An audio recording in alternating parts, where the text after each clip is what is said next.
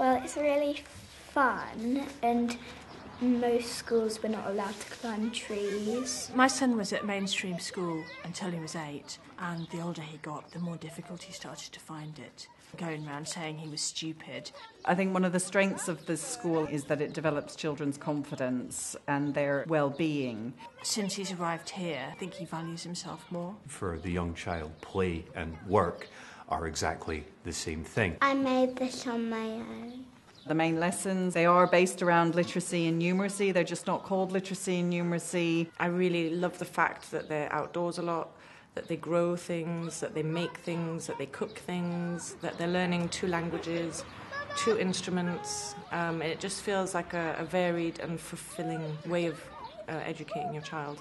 His handwriting's really improved since he got here. It took quite a long time to make him. Also, when I was at home, I made a little clown nose I think goes very well with him. Last week, I saw our children in the afternoon club trying to build a catapult, and they were balancing heavy rocks on a plank of wood. And they were standing one on either end and working out about balance and what would happen if they moved the pivot point and how that affected the balance. And it was just a fantastic educational moment that they could never have got in a school that didn't have a garden. We have an incubator with eggs, and two of them hatched, and we all found out this morning. The whole testing and SATs regime makes children feel like they're failures. You create a generation of children who know only that education and learning is to pass tests. We have a lot of freedom as teachers and creativity, and not having to be constrained by things like SATs and uh, curriculums that are very, very prescriptive. We felt that the financial sacrifice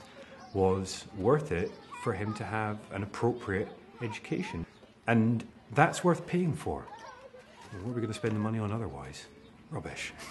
We have a bursary fund to enable um, parents on lower incomes to send their children. This is a setting that allows children to grow at their own pace. This is a superb school.